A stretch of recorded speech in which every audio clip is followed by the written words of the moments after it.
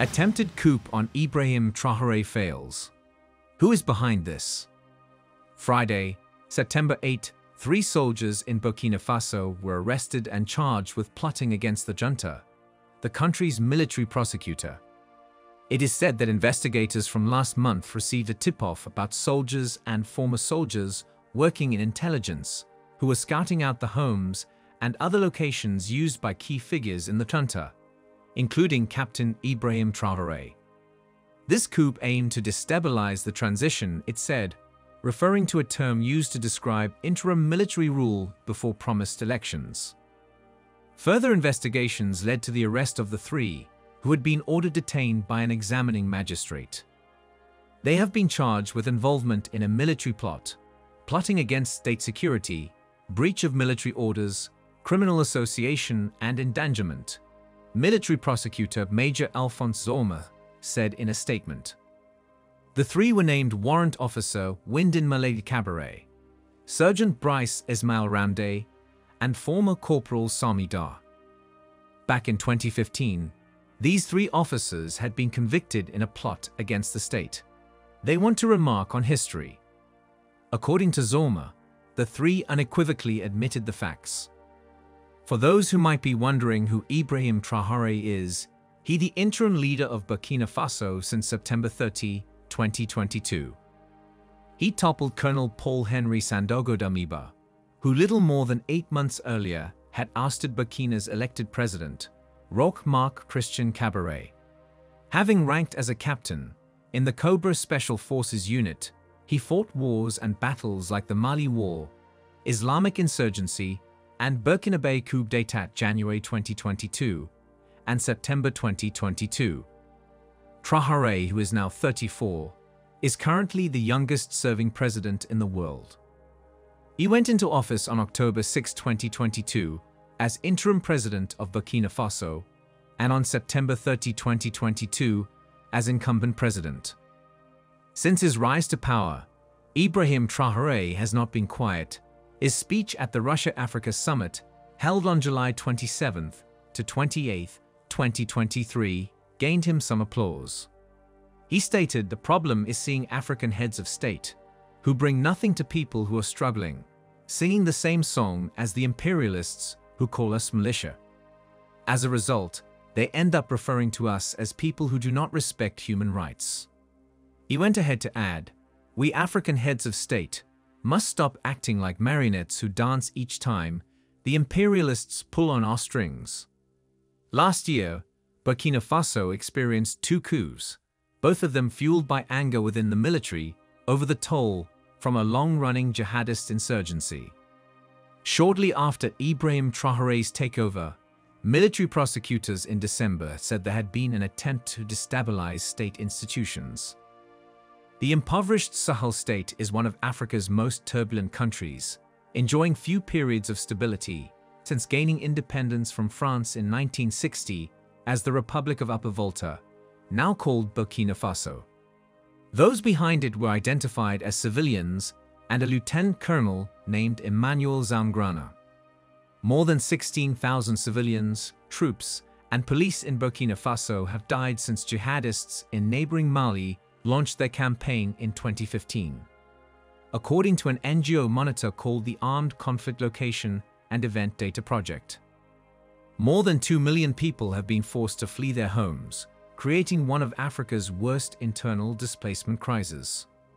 Burkina Faso's military leader Captain Ibrahim Traoré spoke out on Thursday, September 7, 2023, concerning the attempted coup against his government confirming that some elements of the army wanted to seize power, according to local media reports.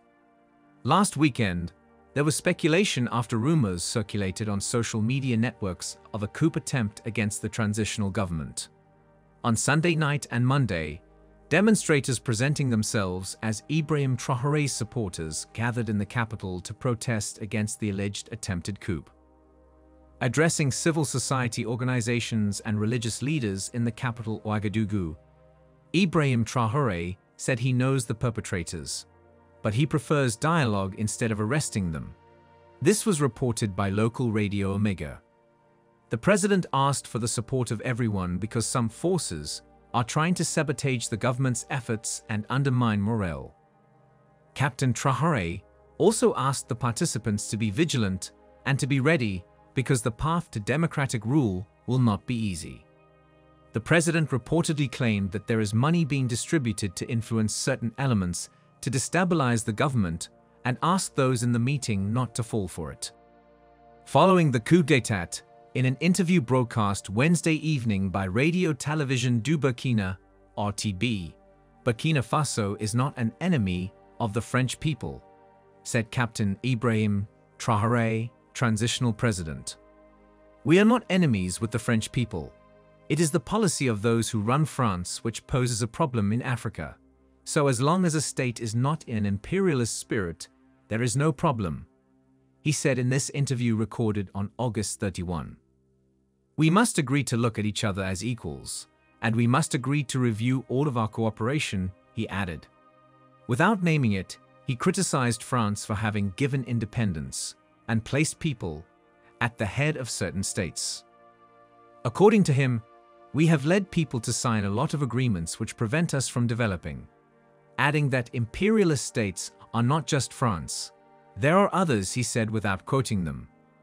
Captain Ibrahim Traoré, who came to power almost a year ago, also questioned the effectiveness of the presence of French soldiers in Burkina Faso as part of the anti-jihadist fight, which he demanded the departure in January. But Burkina has since been seeking new cooperation. We have new partners who support us in terms of equipment and other things, he added, without naming them. Burkina Faso's Minister of Foreign Affairs, Olivia Rouamba, expressed her country's desire to strengthen bilateral cooperation with Iran on Monday during an interview in Tehran with President Ibrahim Raisi. He reaffirmed his country's support for Niger, the scene of a coup d'état on July 26 with which Burkina shares the so-called Three Borders area between Mali, Niger, and Burkina, considered a den of jihadist groups. An era is over, that in which France positioned itself as the anti-jihadist policeman of a region five times greater than its territory, wrote right-wing French newspaper Challenges in an editorial calling for a serious rethink by Paris of its broken-down Africa strategy. It is indispensable to listen to the concerned societies, it added, including that which doesn't please. Burkina Faso has great resources. They produce cotton, sorghum, which is really important to the Burkina Burkinabe people. Due to the importance of sorghum to the Burkina Burkinabe economy, the government has dedicated vast sums of money to develop the industry. One of the significant steps that the government has taken to increase sorghum growing in the country is to fund research into new varieties of sorghum. The World Bank estimated that in 2007, roughly 20% of Burkina Faso's total land area was considered arable. Despite the vast amount of arable land in Burkina Faso, the country is not considered self-sufficient in agriculture. Because of that, the Burkinabe government has put in place a measure to grow the farming sector using modern farming methods. Some of Burkina Faso's most important crops include cotton, maize, sorghum, and millet. Recently, Burkina Burkinabe farmers have also begun growing sugarcane on a large scale. Burkina Faso is also rich in mineral resources and produces gold, zinc, copper, manganese, phosphate, and limestone in substantial quantities. It also has reserves of diamonds, bauxite, nickel, and vanadium, the most important being gold, with the nation being the fourth largest gold producer on the African continent. However, some of these remain largely unexploited, apparently the reason why the Western world keeps pushing in. Africa, as a whole, is the major producer of important metals and minerals such as uranium, which is used to produce nuclear energy, platinum which is used for jewelry and industrial applications, nickel which is used in producing stainless steel, magnets, coins, and rechargeable batteries, and other minerals like bauxite and cobalt, just to name a few. The two most profitable minerals are gold and diamond, producing about 483 tons in 2008. making 22% of the world's total production. South Africa accounting for almost half the produce, then Ghana, Guinea, Mali, and Tanzania being the other major producers. France will be at the losing end if they have to totally cut any ties with Burkina Faso. Especially with Ibrahim Traoré's rule, whereby he is doing everything in his power to make Burkina Faso a great nation and Africa at large. Since Traoré is nothing like the Western puppet, France will need a president that works in their favor. Is it possible that the Western world is responsible for the attempted coup attack on Ibrahim Traoré to overthrow him and abolish his rule? Drop your comments in our comment section, like, subscribe, and click on the notification button to stay updated with us.